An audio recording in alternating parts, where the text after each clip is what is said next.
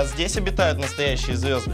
Ну, допустим. Может быть, совместно зарим небосвод на неделе звезд хоккея? Наш звездный дуэт собирается в Питер. Тогда мы берем на себя Тулу. А кого мы выбираем королевой? А королева у нас уже есть.